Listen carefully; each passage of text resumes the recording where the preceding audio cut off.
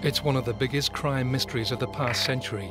How did Fred and Rose West become Britain's most prolific and sadistic serial killing couple? They derive so much pleasure, sexual and otherwise, from the pain of others. At their height, they murdered a girl every three months, claiming at least 12 victims.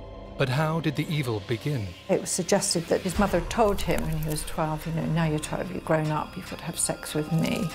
There's evidence Rose also suffered sexual abuse as a child. We have incest here. We have incest being repeated through the generations. In their first in-depth interview, Fred's own family cast new light on the couple. Well, I always thought she was possessed with the devil. But was Rose's lack of morality caused by shock ECT therapy given to her mother when Rose was in her womb? ECT at this time was still fairly brutal. And did the head injuries Fred suffered as a teenager distort his personality? His dad said he didn't seem to think that he was the same person. With so many girls and young women disappearing, how did Fred and Rose get away with murder for so long?